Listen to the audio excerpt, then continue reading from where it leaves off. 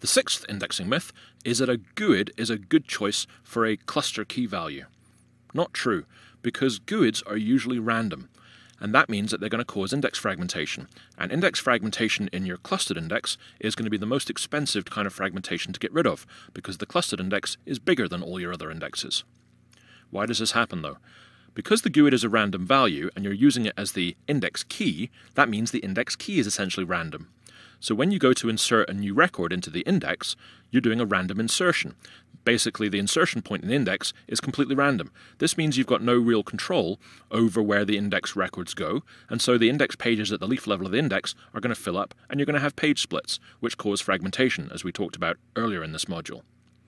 The other thing to consider is that GUIDs are very large. They're 16 bytes. That means that because a cluster key is included in all the non-clustered index records, all this extra space is required in your non-clustered indexes as well. You could kind of work around the random issue by using new sequential ID to create the GUID rather than new ID. However, that means that you've got to call down into SQL Server to get the GUID, and they're still 16 bytes long.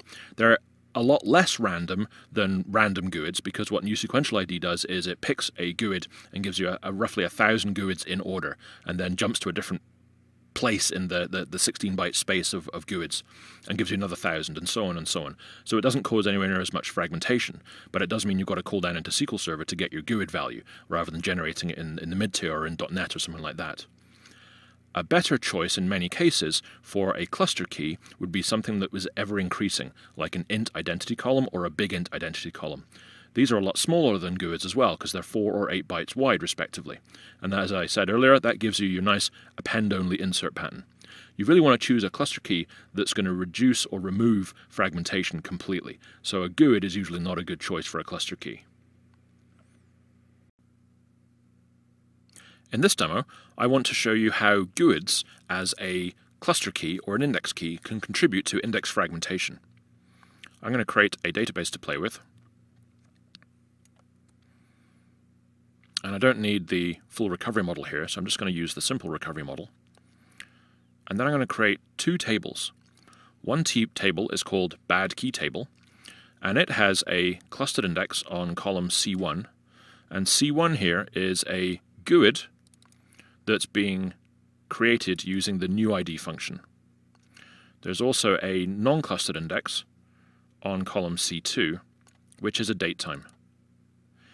Then I have another table called bad key table 2, and you can see that the structure of bad key table 2 is exactly the same as that for bad key table. The only difference is that the column C1 that I'm going to use for the clustered index on bad key table 2 is populated using the new sequential ID function.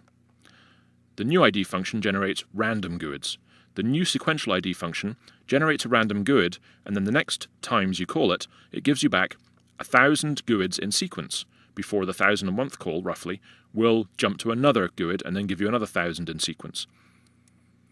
So let's go ahead and create those two tables. And then I'm going to insert 250,000 records into each of these and this is going to take a few minutes to run, so I'm going to pause the recording and then unpause the recording when it's finished running.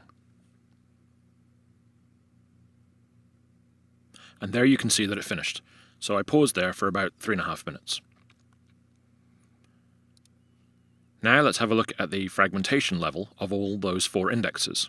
And I'm using the index physical stats DMV, and I'm doing a little bit of processing on the, the output to make it print out nicely. I'm also cross applying with the sysindexes catalog view so that I can get names out of the physical stats DMV rather than just IDs. So if I go ahead and run that, we see that the bad key table, the clustered index for it, is 99.1% fragmented, almost perfectly fragmented, compared to the clustered index for bad key table 2, which is less than 1% fragmented. That's because the cluster key for bad key table is a random GUID. So the insert position of the new clustered index records is essentially random in the index.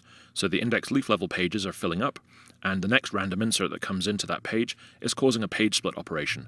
And page splits cause fragmentation, and they also cause low page density. And you can see the page density there, the amount of used space on the page, is only 66.8% on average for the cluster key that's a random GUID, but it's almost 98% for the cluster key that's a non random GUID. Now look at this.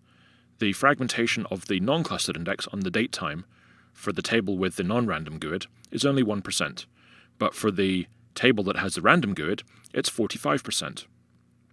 What's happening here is that the date time key value for this non clustered index, the minimum time period that a date time value can resolve, is 3.3 milliseconds.